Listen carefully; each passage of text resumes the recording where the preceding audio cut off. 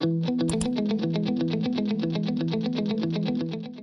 this is Kevin from Zurb. Hey, it's Rafi from Zurb. And this is the Foundation Insider. So we've got a lot of great stuff going on this month, tons of great progress. We're working towards figuring out what the 6.3 release is. There's lots of conversations with the Yetinauts, and the Yetinauts have been super busy getting stuff to happen. Yeah, um, Abdullah Salem has been jumping in and doing a lot of form element uh, fixes and making the forms a little more streamlined.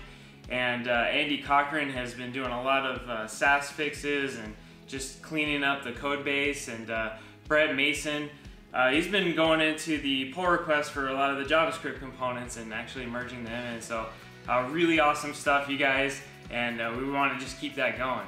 And we also just released Foundation for Emails 2.2, which uh, brings a lot of new features and also a really big announcement, which is a we have a Ruby gem. Ruby gem. You can now put Foundation for Emails and Inky straight into your Ruby or Rails applications. You can plug it into your asset pipeline. It plays nice with Premailer, so you can be writing these beautiful Inky-based templates straight in your Rails app, sending whatever emails you want without having to muck around with tables to make it look good.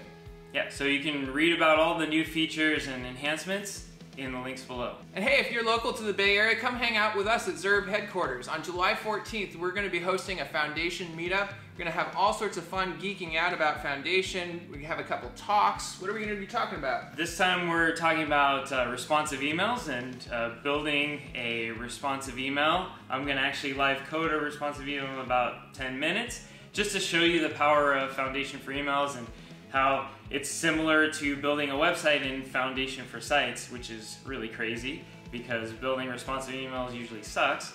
So we're gonna show you that. It's gonna be exciting. There's pizza and beer, and uh, we want you to come hang out, and that's July 14th. You can find it on meetup.com. There's probably a link in the email you're watching this on. Just come hang out with us and geek out. Hey guys, this is not just a project from Zurb, this is a community thing. We want to hear from you. So send us an email back, tweet at us, jump into the forum or GitHub. We want to hear your voices and hear what's important to you.